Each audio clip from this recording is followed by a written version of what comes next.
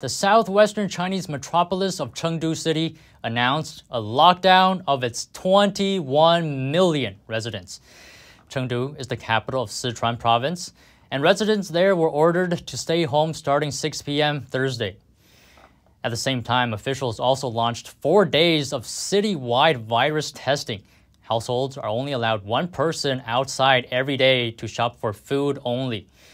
Chengdu is the largest Chinese city to be locked down since Shanghai. Remains unclear, though, whether the lockdown would be lifted after virus testing ends, which will be on Sunday. Other major cities also stepped up COVID restrictions this week. Shenzhen and Dalian are two of them. The restrictions range from work from home requirements to shutting down entertainment businesses. The lockdowns affect tens of millions of people, and it's intensifying the challenges for China's economy.